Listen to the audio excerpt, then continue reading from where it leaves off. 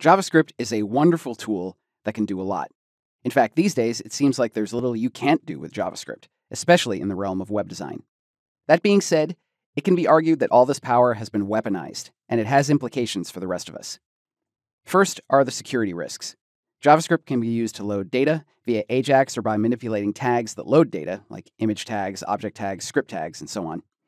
Attacks like this are called cross site script attacks, since they inject JavaScript that's not part of the site into visitors' browsers. When website authors become careless and leave these vulnerabilities, the result can be anything from the website being defaced, site visitors having their personal information revealed or stolen, and more.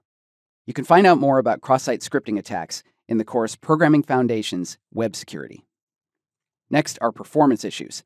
Many websites, especially larger commercial websites, include JavaScript to pull and display ads and tracking scripts to gather information on their visitors' behaviors and activities, some of which are quite invasive for our privacy.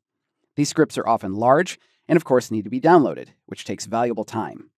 Include very many of them, and page load times start to balloon, resulting in slow, poor performance.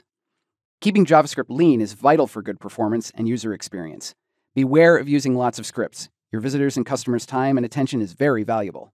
There's more information on optimizing websites for better performance in the courses Vanilla JavaScript, Web Performance Optimization APIs, and Learning Enterprise Web Application Performance, among others. The result of these kind of issues is that JavaScript can be blocked, sometimes entirely, often partially. Content blockers on mobile and desktop browsers can try to block advertising and tracking scripts from ever loading, and some will take more aggressive steps to try to protect user privacy. There are institutional firewalls that may block some or all of your JavaScript, and of course, some users may simply opt out, disabling JavaScript as a feature of their browsers. Not many in the grand scheme of things, but enough that you should be aware of it. All of this is to say, feel free to use JavaScript, but be attentive and judicious about it. Be especially careful when using JavaScript to display data users have entered, and when adding plugins or libraries so as not to slow your site down so much.